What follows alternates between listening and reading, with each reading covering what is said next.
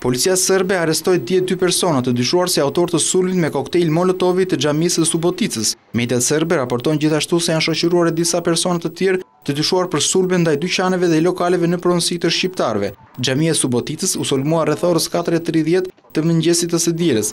Zjarrin thuhet se e kanë fikur kalimtarët e rastit dhe përfaqësuesit e xhamisë e kanë vërejtur dëmin vetëm në mëngjes. Ndërkohë, në qytetin e Novi Sadit, ku u sulmuan më parë nëntë furra të shqiptarëve, Është sulmuar me gurë ëmbëltorja Telep në pronësi të pjesëtarëve të komunitetit goran me prejardhje nga Prizreni.